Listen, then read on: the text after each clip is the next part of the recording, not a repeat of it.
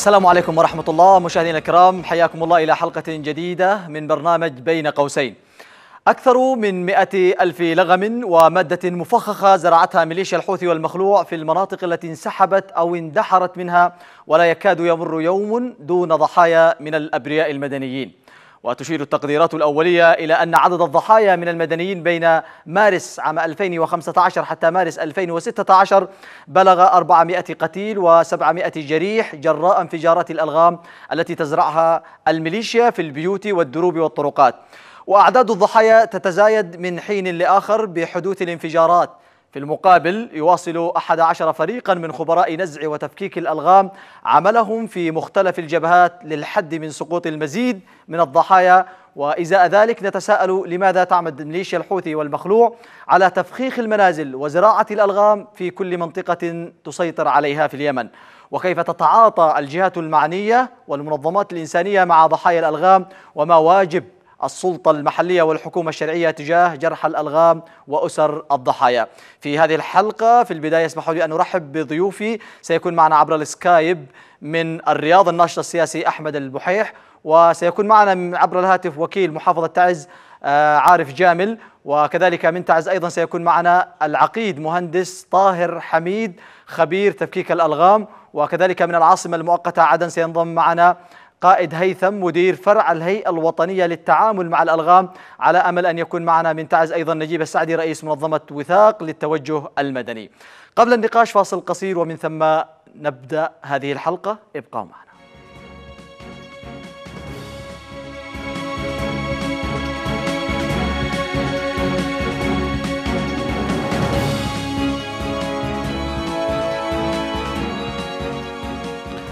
حياكم الله مشاهدينا الكرام من جديد ونبدأ هذه الحلقة مع آه الأخ قائد هيثم مدير فرع الهيئة الوطنية للتعامل مع الألغام من عدن مساء الخير آه سيادة العقيد قائد.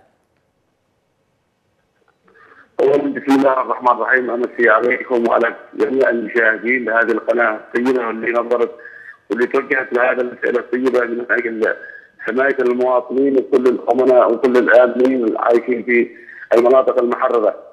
اولا واحيي الأخوة ضيوفك من مختلف المناطق. نعم. ولنا فرصه هذه نعطيكم صوره موجزة عن الأعمال اللي تنفذها شعبة الهندسة العسكرية رياض المنطقة العسكرية الرابعة. نعم. وكذلك فرع المركز التنفيذي للتعامل مع المقام عدن والذي بدأ عمله بعد الحرب أو اثناء نعم. يعني الحرب وأثناء تحرير المناطق ابتداء من شهر آه نهاية شهر يوليو سنة العقيد. نعم. وبداية أغسطس حيث انتشرت الفرق المهندسين نعم. سيادة العقيد ربما بدأت يعني نعم سيادة العقيد ربما بدأت بالحديث قبل أن أسألك لكن هو بالتأكيد في صلب الموضوع ما تحدثت عنه. كنا في البداية ربما الميليشيا تركت تركة ثقيلة من الألغام التي زرعتها في كل المناطق التي وصلت إليها ميليشيا الحوثي والرئيس المخلوع. ربما أيضا كانت عدن ولحج وأبين نموذج من النماذج التي وصلت إليها الميليشيا وزرعت عشرات الآلاف من الألغام. ضعنا في البداية بصورة يعني إحصائية عن عدد وحجم الضرر الذي لحق من الألغام وزرعتهم الميليشيا في هذه المناطق. اولا الألغام اللي زرعت في هذه المناطق زرعتها ميليشيات الحوثي وقوات المخلوع اللي كانت تسيطر على بعض المناطق في محافظة عدن ونحج وابين حيث كانت الزراعه زراعة الألغام هذه بطريقة عشوائية واستطاعت قوات الجيش الوطني والمقاومة الشعبية والمقاومة من دحر هذه بواسطه يعني الفرق الهندسيه التي اقتحمت تلك المواقع وقدمت التضحيات. الالقام بشكل عام زراعه بطريقة عشوائيه بشكل عام والقام محرمة دوليا وخاصة زرعت في مناطق اهله بالسكان مع أحياء سكنية. نعم. اللي كانت فيها تجري معارك المواجهة. حتى وصلت المناطق هذه إلى إلى أنه أصبحت هذه المناطق خاصة الأحياء السكنية في عدن وفي لحم موضوعة بالارقام ومتاثره وقد وحيث أنها سقطت أبرياء كبيره كبيرة جدا في المناطق هذه. نعم. ومن خلال عمل الشعوب ومن خلال تعاون القياده استطاعت الفرق الهندسية أن أن تبعد هذا الخطر المغير الذي كان أصبح يعني يهدد كل السكان خاصة من المناطق اللي كانت فيها المواجهات العسكرية. نعم، هل تم يعني الآن آه، تصفية كل المناطق من الألغام التي زرعتها الميليشيا أم لا زال هناك أماكن ربما خطرة ولم تصلوا إليها ولا زلتم يعني آه، يعني تواصلون نزع هذه الألغام؟ طبعا العمل مستمر من يوليو 2015 على قدم وساق في عدم لحق المناطق اللي تم تحريرها ولا زال العمل جاري ومن شهر اثنين أو من شهر فبراير 2016 تم التنسيق مع المشروع اليون دي دي. وحيث تم يعني اعتماد حوالي 350 الخطه الخطة الطارئة لفتح الطرقات وإعادة المنشآت الحيوية وإعادة الكهرباء والمياه في المناطق المحررة. من ثم انتقلنا إلى إلى إلى تصفيه المناطق الاهله بالسكان والقريبه من المناطق الاهله بالسكان. نعم. العمل مستمر لحد الآن وخلال فترة سابقه استطعنا أن نرفع في عدن ولحد وابين وبعض المديريات وبعض مديريات محافظه تعد ما يقارب 46907 إجمالي عام 46 و907 منها و8881 لغه مضاد الافراد و736 أرقام مبتكرة و16404 أرقام رجال مضاد الدبابات و27886 يعني مخلفات حرب على قنابل وعبوات وصواريخ بشكل عام نعم. اضافه إلى إلى العاملين إلى مجاميع تحركت إلى حضرموت بداية شهر مايو واستطاعت خلال ثلاثة اشهر إن يرفعوا 29639 نعم إجمالي ما تم رفعه منذ إلى الآن 76546 قطعة منوعة من لغم بعض الافراد ولغم بعض الدبابات وألغام فكره وعبوات نعم. نفسه وغذائف وصواريخ منوعة كبيره جدا حيث آه، استطعنا أن نخفف من العبء الكبير اللي كان يهدد السكان في المناطق المعرضة. نعم. والحمد لله العمل مستمر بالتنسيق سيادة العقيد. نعم. المنطقة العسكرية الرابعة نعم. وقياده المنطقة العسكرية الثانية اضافه إلى آه، مكتب ليون في دي. ونحن نعم. مستمرين يعني على قدم وساق و هذه الأرقام الكبيرة. نعم سيادة العقيد. نعم سيادة العقيد هذه الأرقام الكبيرة التي تحدث عنها والتي تم نزعها من هذه المناطق. آه، هل تم إتلاف هذه العبوات الناسفه والألغام أم أين مصيرها؟ بالنسبة للالغام والعبوات الناسفه الآن يعني بيتم تدميرها مباشرة وبعض عوائق لا زالت في بعض المناطق سيتم تدميرها خلال المرحلة القادمة. أما بالنسبة للعبوات الناشفه والأشياء الغذائيه فنحن يتم التخلص منها مباشرة لذلك لخطورتها على يعني حزنها أو نقلها لأنها خطيرة جدا. نعم. طيب سيادة العقيد تكرم بالبقاء معنا نشرك معنا في الحديث آه، عبر السكايب من الرياض الناشط السياسي أحمد البحيح مساء الخير أستاذ أحمد. مساء النور يا مرحبا. أهلا ومرحبا بك أستاذ أحمد آه، ربما سمعت الأرقام الكبيرة التي تحدث عنها آه، سيادة العقيد قائد هيثم من تعز عفوا من عدن وربما هي أرقام كبيرة ومخيفة أيضا هو الحال ربما في محافظة مأرب والجوف وأنت من هذه من محافظة الجوف ولك اطلاع واسع حول الموضوع ضعنا أنت أيضا بصورة الألغام والمشاكل التي خلفتها الألغام التي زرعتها ميليشيا الحوثي في هذه المناطق. على وجه التحديد مأرب والجوف؟ حياك أخي الكريم وحيا الله آه، ضيوفك الأكارم. آه، ما آه، أسفرت عنه هذه الجريمة الأخلاقية جريمة الحرب التي ترتكبها ميليشيا صالح الحوثي في محافظات الجمهورية بشكل كامل وفي محافظتي الجوف ومارب بشكل خاص. هذا السلوك الإجرامي الذي انتهجته هذه الميليشيات في كل شبر دخلوا منه في مختلف المديريات ما أن يكونوا في مديرية ويدركون أنهم سيغادرون منها مرغمين تحت قوة سلاح الجيش الوطني للمقاومة الشعبية حتى يزرعون هذه المناطق وبشكل عشوائي بهذه الألغام الفردية ومختلف أنواع الألغام. في مأرب لوحدها الفرق الهندسية انتزعت أكثر من 18 ألف لغما ارضيا زرعت في مديريات المجاورة في مديريات الوادي وكذلك حول مدينة مارب حينما كانوا في منطقة الجفينة وكذلك في حدود آه، منطقة البلغ باتجاه آه، آه، سد مارب وأيضا المسافة ما بين مدينة مارب ومدينة صرواح نعم. وفي الجوف أكثر من خمسة آلاف رغما حتى هذه اللحظة تم انتزاعها كون المناطق التي تم وضع فيها الألغام هذه كانت مناطق صحراوية ممتدة وهي بلغت أكثر من 20 كيلو إلى 45 كيلو باتجاه مديرية خربوش الشعف وما بين أيضا الغير وما بين المتون.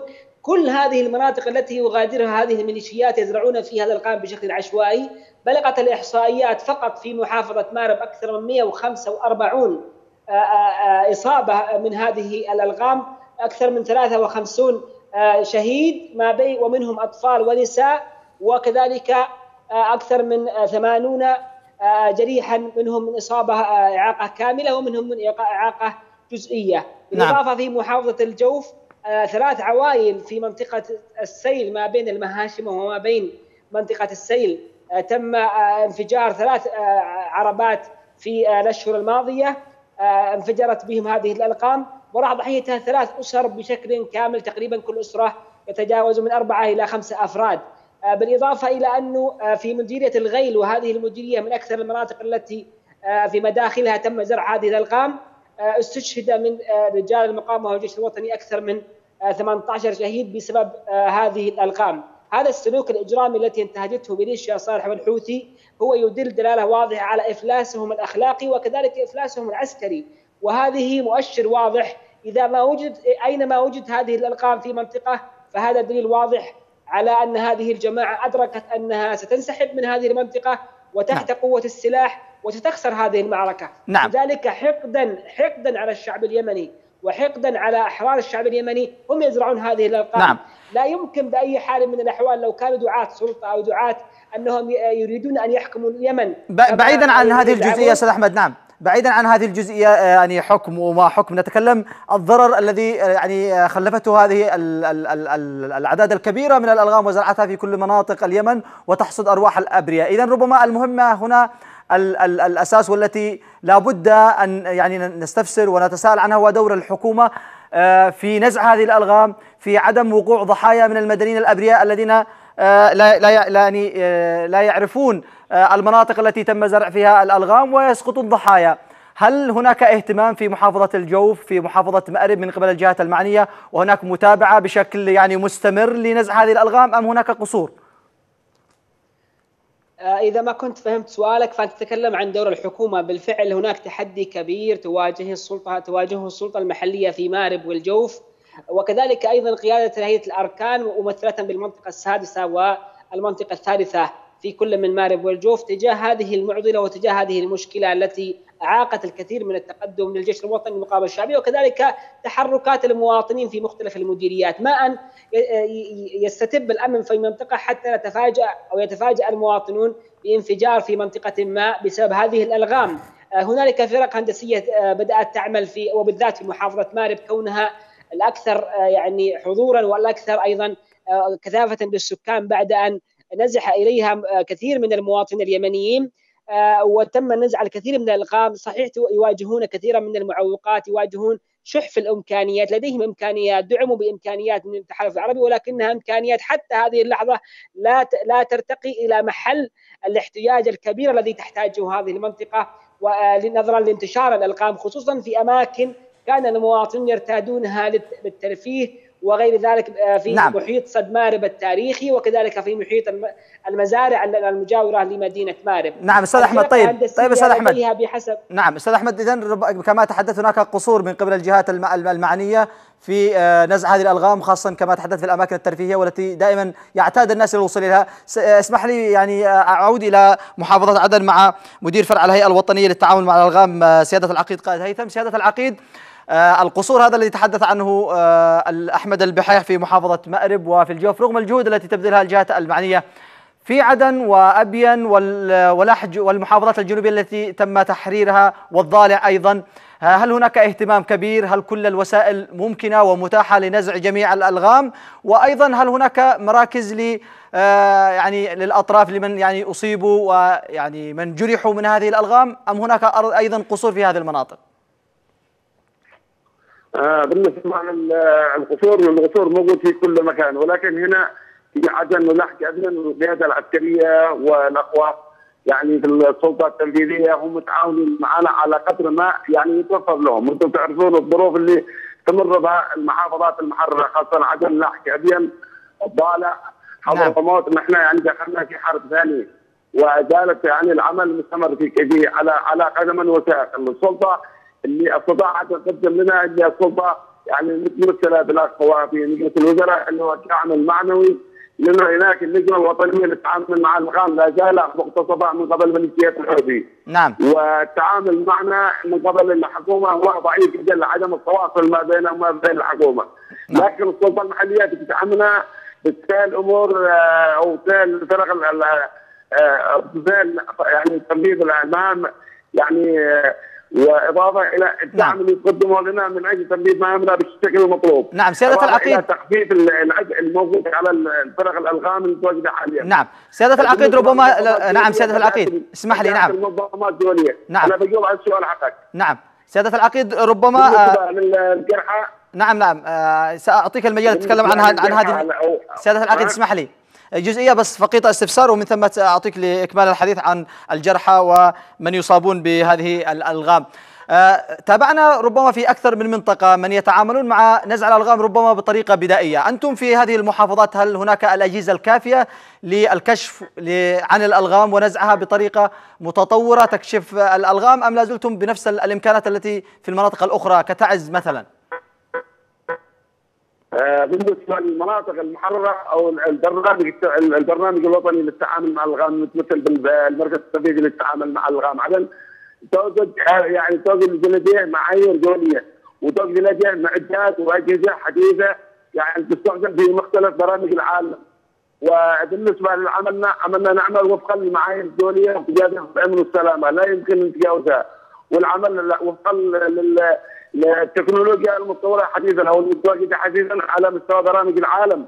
لأن البرنامج يعني تاريخه طويل جدا وعمره أكثر من 20 سنة.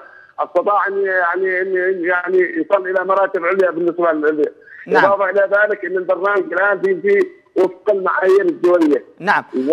وإضافة إلى العمل في تعد. طبعا تعد لا زال لا زالت في تعد إنه هناك يعني يعني جبهات ولا زالت هناك مواجهات لم يستطيعوا لم يستطيعوا الفرق المهندسين أن يعملوا وفق المعايير يعني هناك تواصل بينكم. نعم. حاليا من المعارف نعم هناك تواصل بينكم وبين يعني مثلا الفرق الهندسية في محافظة تعز وربما لو تهيأت الظروف سيكون هناك تعاون فيما بينكم لنزع الألغام التي زرعتها الميليشيا في هذه المناطق. طبعا تعز هي جزء من المنطقة العسكرية الرابعة وتعز يعني بالنسبة للفرق اللي تعمل هي تحت مظلة البرنامج الوطني للتعامل مع الغام عدن وتم تجهيزهم بالاجهزه وتم التنسيق لهم وتوفير لهم كل المعدات. وخلال اليومين هذا توقيعات الاخ قائد المنطقة العسكرية وتم تزويدهم بكاسحة ألغام من الكاسحات اللي تم تزويدها من القوات التحالف الجيش الدولة الشقيقه السعودية الجيش السعودي نعم. الشقيق واللي تم بتوقيعات هذه خلال 24 أو خلال اليومين القادمه سيصل سيصل هذه الاجهزه إلى سعد. إضافة إلى تزويدهم باجهزه حديثة. يعني آه، وفقا للتكنولوجيا المطورة حديثا أشكرك. احتمال تطلب من الاخوات المتعدي اللي هو تقديم المساعدة تقديم العون يعني عدم الدخول في المناطق الموضوعه أو المناطق المكثفه بالالغام يعني التخفيف من الإصابات. نعم. يعني العمل بشكل توعوي من قبل الاخوات في المنظمات المجتمع المدني إضافة إلى مراكز الإعلام والمراكز أشكرك. الإعلامية والتنسيق مع الأخوة في السلطه المحلية في المديريات وفي المحافظة. أشكرك جزيل الشكر آه، مدير فرع الهيئة الوطنية للتعامل مع الألغام سيادة العقيد قائد هيثم كنت معنا من محافظه عدن. مشاهدينا الكرام نذهب الآن لمتابعة بعض الآراء التي أخذنا منها عينة حول الألغام التي تزرعها الميليشيا وأخطارها وما ينتج عنها في هذه المناطق التي يتم تفخيخها بهذه الألغام. نتابع هذه التصريحات ومن ثم نكمل النقاش. طبعا إحنا في منطقة الضباب تم تطهير منطقة الضباب والمقهاية من الألغام. من الألغام الذي كانت تستهدف الدبابات وتستهدف العربات والسيارات التي ستدخل من التربة أو تخرج من مدينة تعز متجهة للتربة آه الطريق هي آمن الآن وعلى ضمانتي وسيارتي هي أول سيارة تعبر المنطقة عبرت إلى الضباب وعادت من الضباب والناس مشوفة الآن في أمان من بداية من يوم أمس الساعة التاسعة والسيارات تدخلين ويخرجين مارسوا جميع الجرائم التي ترتقي إلى جرائم الحرب زراعة الألغام تطويق المدينة من جميع الاتجاهات مثل حصارا خانقا على المدنيين تضرر الأطفال. آه، ينبغي استدعاء استدعاء المنظمات العاملة في هذا المجال والتنسيق بكافة المنظمات التي تعمل في هذا المجال لنزع الغام وتجنب مخاطر كثيرة جدا. حيث أن العصابة المسلحة زراعة الألغام تبتر نص رجل ورجل أخرى وقبل أمس حينما أعلن فتح المنفذ آه، كان هناك فيه توقيع معنوي قوي جدا آه، ينادي المواطنين بعدم الخروج عن الزفلة والطرق الفرعية بسبب الألغام الذي زرعته الميليشيات الانقلابية. فكان لهم دور إيجابي بناء آه، الحمد لله اليوم الثاني على فتح المعبر. لا توجد أي شاحنة تفجرت أو أي مواطن يصيب بسبب اللغم لأنهم يمشوا في حذر يعني في الزفيل أما في الجوانب الفرعية فهو كله ملغم بشكل فظيع جدا مزروع حياكم الله مشاهدينا الكرام. إذا تابعنا هذه عينة ربما من الذين آه، تحدثوا عن الألغام وأضرارها في المناطق التي تصل إليها الميليشيا وتفخخها بالعبوات الناسفة آه، نشرك نشرك معنا الآن ونرحب بسيادة العقيد آه، طاهر حميد المخلافي من تعز سيادة العقيد مساء الخير. مساء النور والعافية. أهلا ومرحبا بك سيادة العقيد ربما أنتم الآن شرعتم في نزع الألغام في المناطق التي بدأت تحريرها وعلى وجه التحديد في الجبهة الغربية في تعز آه كيف تتعاملون مع الألغام التي زرعتها الميليشيا؟ حجم هذه الألغام الأضرار التي لحقت بالمواطنين من هذه الألغام. ضعنا في البداية بصورة مبسطة عن أرقام وإحصائيات والمشاكل التي أحدثتها هذه الألغام التي زرعتها الميليشيا. طيب. الميليشيا الحوثي الميليشيا الحوثي آه، في تعز ارتكبت جريمة جسيمة. جريمة يقرنها القانون الدولي اولا والمنظمة الدوليه آه، أخبر بهذا الموضوع. بالنسبة لحجم الضرر اللي موجود في تعز هو حجم كبير جدا تعتبر اليمن بالدرجة الثانية بعد السودان لأن السودان هي من أكبر الدول المتضررة من الألغام فاليمن أنا آه، أنا أميزها بأنها بالدرجة الثانية بعد السودان. نعم. في تعز على ما جاءت بعض الأرقام بأن في تعز 100000 لغم زرعتها الميليشيا الحوثي والمخلوع. نعم. بالنسبة للإصابات نعم اصابت إلى اليوم المناطق كلها تحت سيطره ميليشيا الحوثي والمقروع يعني 36 حادث في محيط مدينة تعز عدا الوازعيه والمناطق البعيدة فالأرقام بتكون كبيرة جدا. لكن هذه الالغام الأحداث التي تم حصرها ومقيدة عندي في التوثيق على أساس 86 حادثة. منها 19 حادثة وفاة. من الوفيات آه، امرأتين امرأة امرأة مسنة. وكذلك امرأة آه، أم بخمسة أطفال راحت مع أطفالها. نعم. آه، بالنسبة للجريمة هي كبيرة جدا و ومستعد بكلامه نعم. طيب سيادة العقيد إذا أنتم في محافظة تعز والمتخصصين في هذه في هذا المجال في في نزع الألغام. الإمكانات التي لديكم مقدار تواجدكم في المناطق التي فيها ألغام ووصلت إليها الميليشيا كيف تتعاملون مع الألغام؟ كما تابعنا ربما أكثر من مرة خاصة على وجه التحديد في تعز هناك يعني آه، نرى العديد من المهندسين يتعاملون مع الألغام بطريقة بدائية ولا يمتلكون الأجهزة الخاصة بنزع الألغام في هذه المحافظة. صحيح كلام عندكم قد واضح وإحنا نعمل بطرق بدائية ولكن عندنا عندنا الخبرة آه لنزع الألغام مهما كانت خطورتها والنواسف والأشراك الخداعية التي توضع. فقد تم تفكيك الكثير من من الأشراك الخداعية والنواسف المزروعة تستهدف الأفراد نعم. والالغام المضاده للأفراد الممنوعه والمحرمة دوليا آه تم نزع الكثير منها وأي منطقة تتحرر يتم التعامل معها بسرعة حتى إن إحنا نجنب المواطنين مخاطر الألغام. نعم. وكذلك في مناطق الان بتتحرر فأنا من الصباح الباكر آه لكل يوم أذهب إلى أي منطقة حصل بها التحرير اليوم على سبيل المثال في منطقة اسيطره تم تحرير مدرسه أبو عبيدة رحنا وفتشنا فتشنا المدرسة وجدناها سليمة. ولكن خارج المدرسة هناك اوبئه كبيرة من الالقام غدا نعم. سيكون غدا سيكون في المنطقة الشرقية في منطقة تم تحريرها سيتم تفتيشها.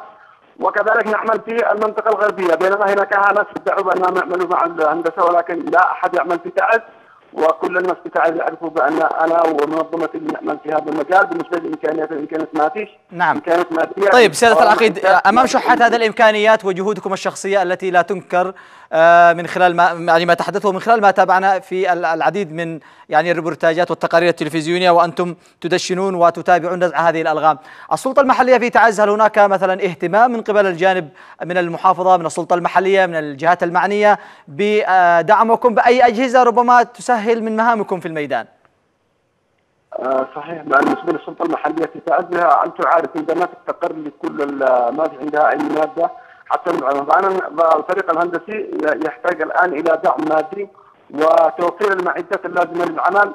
كذلك الوقائيه الوقائيه المطلوبة للأفراد المهندسين على أساس وقائيه يعني لو حصل اي انفجار أو أي شيء بيكون بعيد عن الشظايا ولا هذه الأشياء اللي تحصل نعم. آه طيب. يتجنب خطورتها نعم. طيب سياده العقيده أيضا قبل العودة إلى الأستاذ أحمد البحيح ربما طولنا عليه قليلا لكن سأبدأ مع نشرك معنا في الحديث مع وكيل محافظة تعز الأستاذ عارف جامل. مساء الخير آه، أستاذ عارف.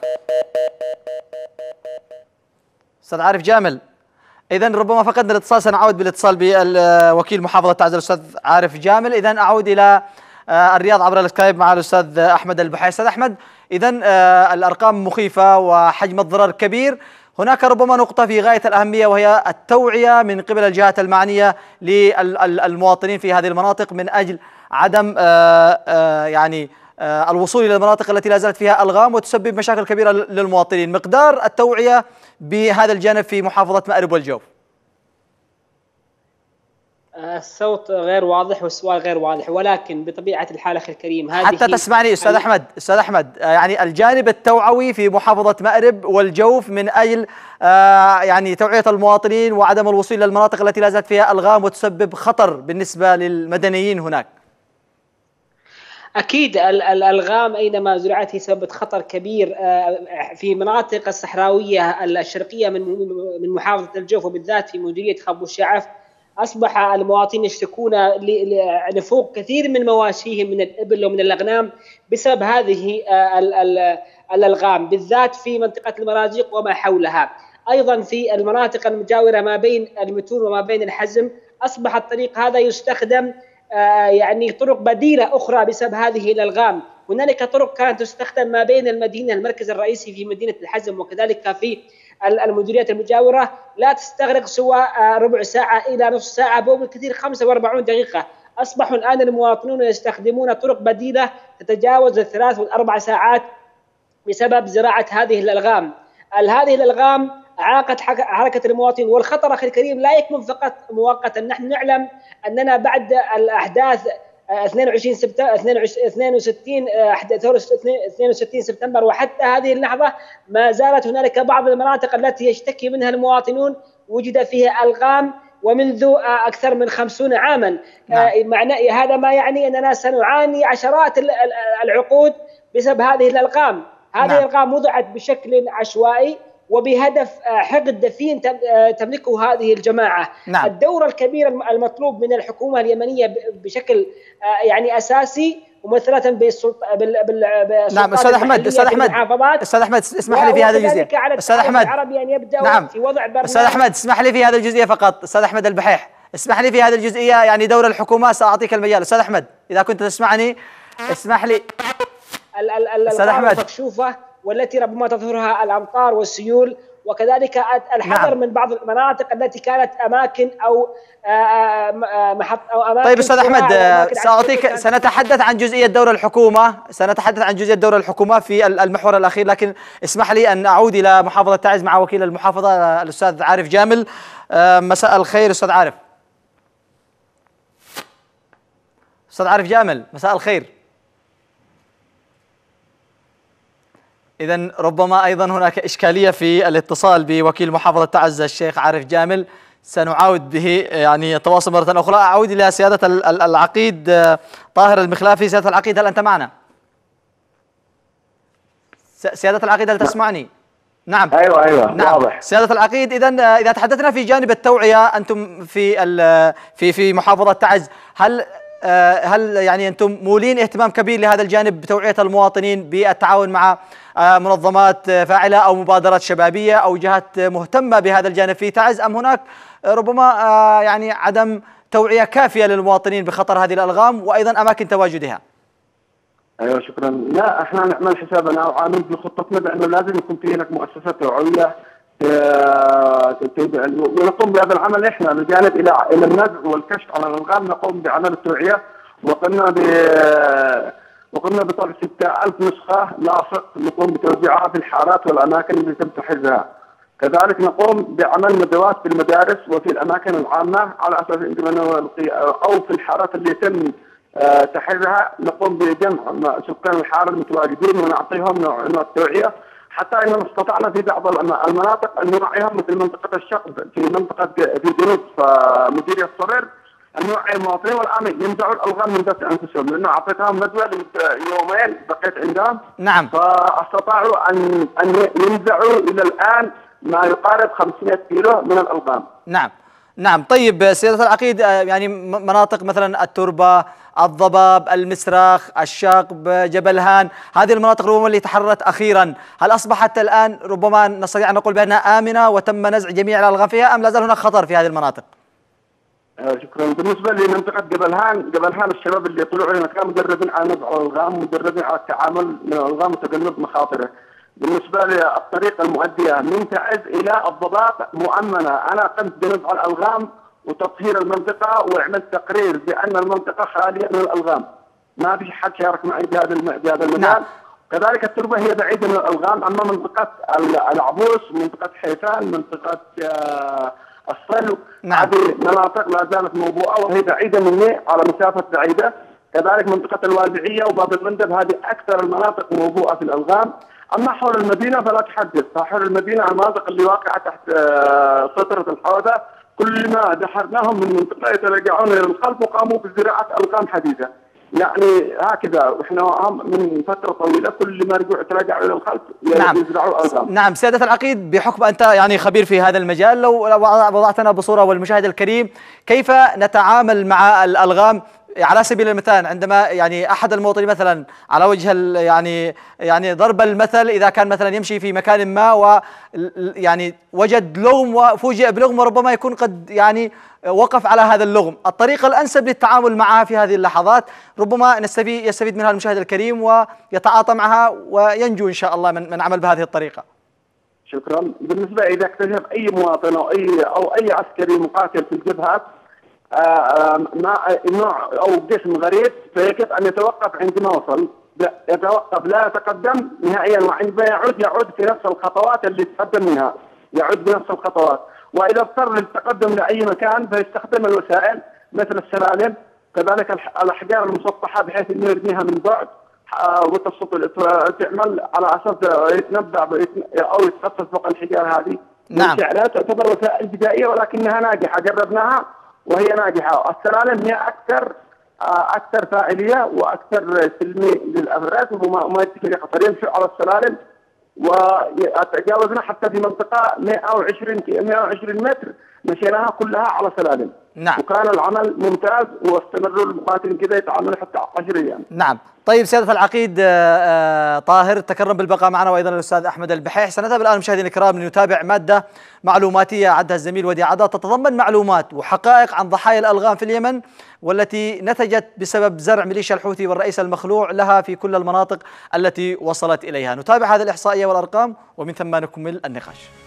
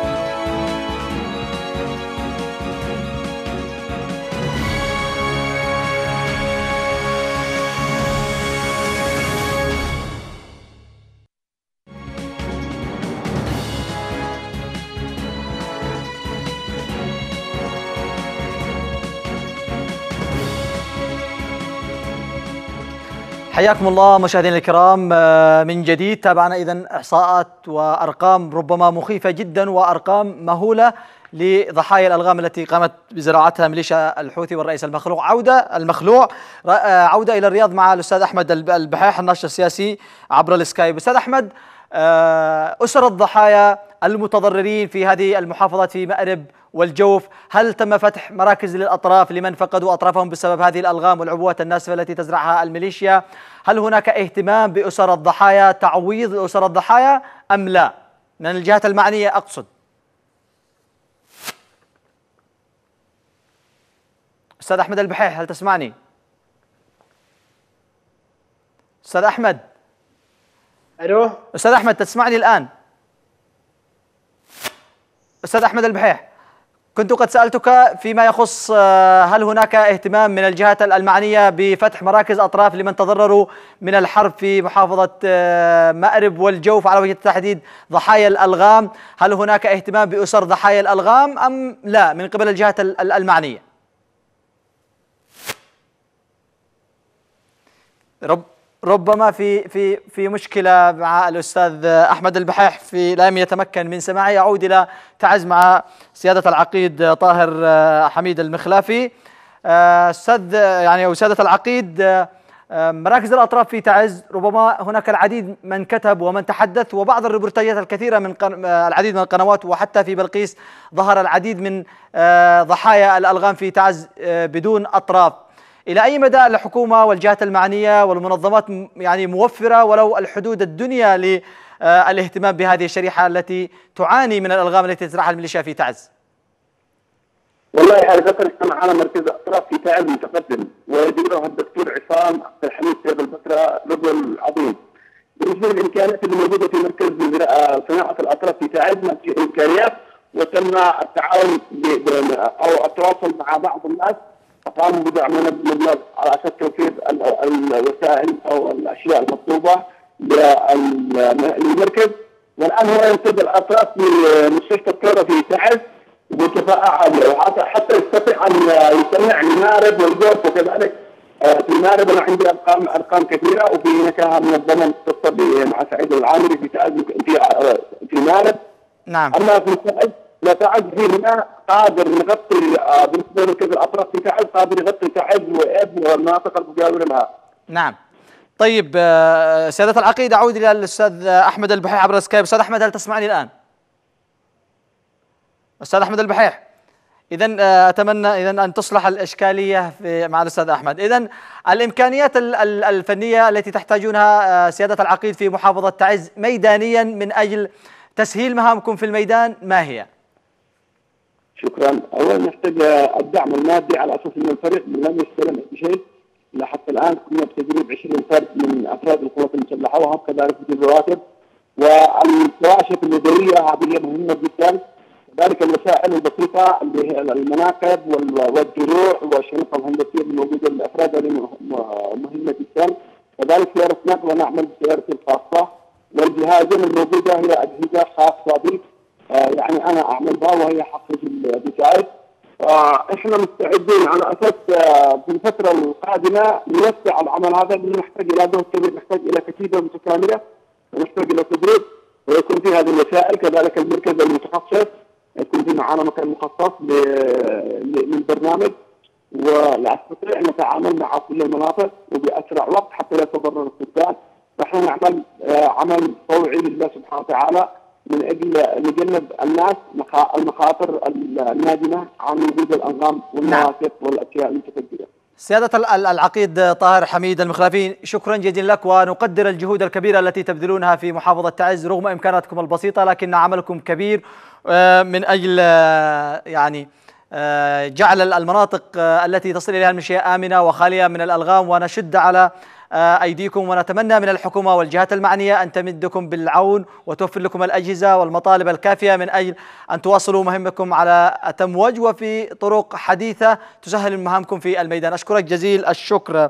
سيادة العقيد طاهر حميد المخلافي خبير التفكيك ورئيس قسم تفكيك الألغام في محافظة تعز.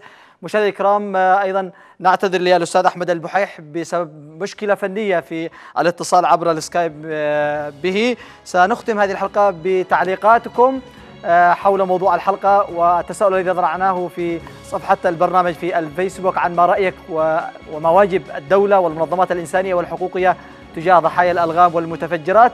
نتابع بعضا من هذه التعليقات في صفحة البرنامج ونبدأ مع صديق البرنامج الأخ آه، أو الأخت هنا صالح تعلق بالقول. رأيي أننا لن نتمكن من انتزاع هذه الألغام ولكننا نستطيع تجنيب المدنيين بالتوعية وهنا يكمن الحل. الإعلام هو الحل المتاح لتجنيب المدنيين. الأخت هنا صالح.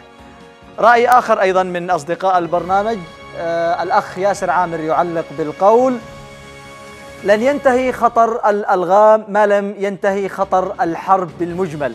حقول الألغام تتزايد كل يوم. لا حل إلا بإنهاء هذه الحرب.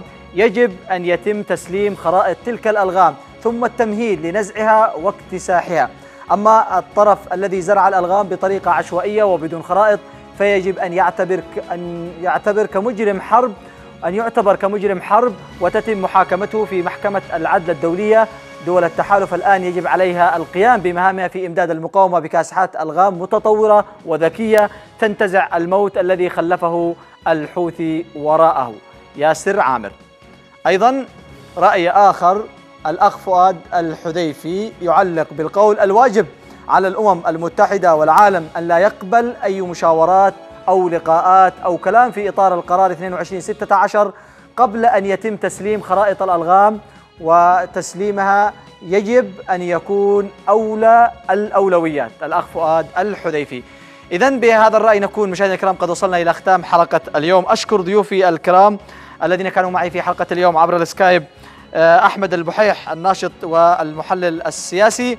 كذلك الشكر أيضا لسيادة العقيد طاهر حميد خبير تفكيك الألغام من آه، آه، تعز. وكذلك الشكر للعقيد قائد هيثم مدير فرع الهيئة الوطنية للتعامل مع الألغام كان معنا من محافظة عدن. ونعتذر للأستاذ وكيل محافظة تعز عارف جامل. حاولنا الاتصال به مرارا لكن ربما إشكالية في الاتصال لم نتمكن من التواصل معه. وأيضا كان من المفترض أن يكون معنا نجيب السعدي رئيس منظمة آه، وثاق. لكن لم نتمكن أيضا الاتصال فيه. شكرا لكم مشاهدينا الكرام على حسن المتابعة. نلقاكم إن شاء الله بحلقات جديدة من بين قوسين ومواضيع جديدة. حتى الملتقى تقبلوا تحيات فريق العمل. في أمان الله. حفظكم الله والوطن. السلام عليكم.